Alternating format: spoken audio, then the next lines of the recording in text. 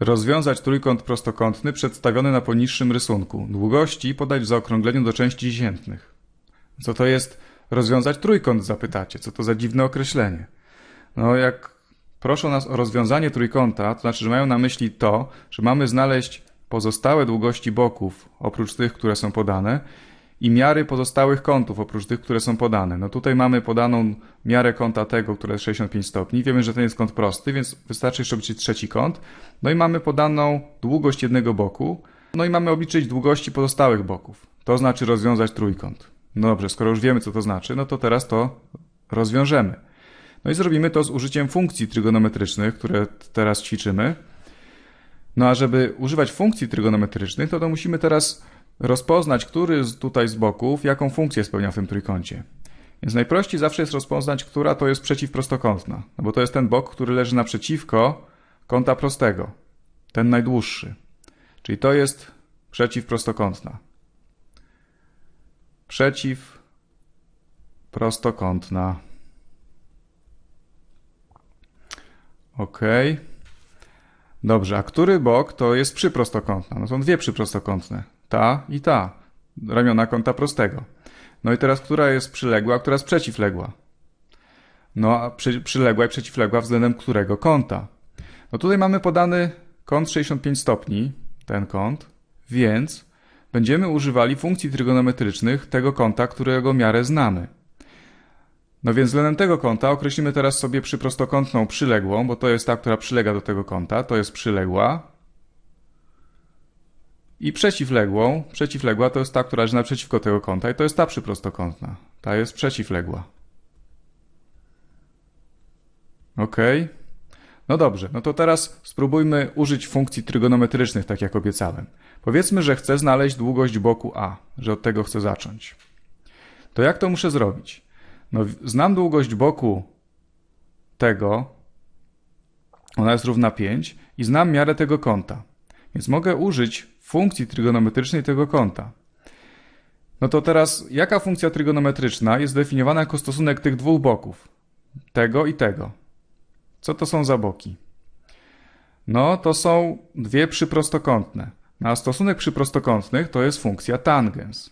Czyli wiem, że tangens 65 stopni to jest stosunek przyprostokątnych.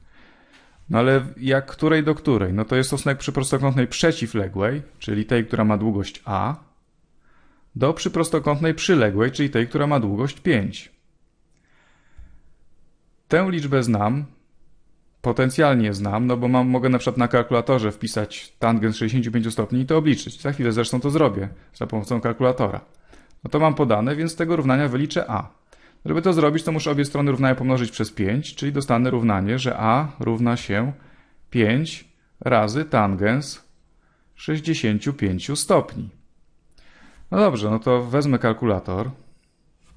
Mam kalkulator. No i obliczę to. Przypominam, że muszę upewnić się, że używam właściwych jednostek do mierzenia kątów. Tutaj akurat było źle ustawione, bo miałem ustawione radiany. Muszę zmienić na degree, czyli na stopnie.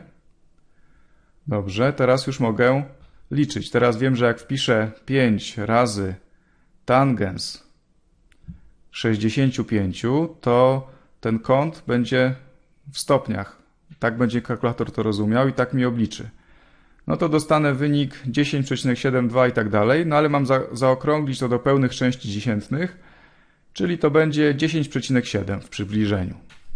Czyli długość tego boku A jest w przybliżeniu 10,7. No dobrze. Obliczyłem długość boku A. Teraz powiedzmy, że chcę obliczyć długość boku B.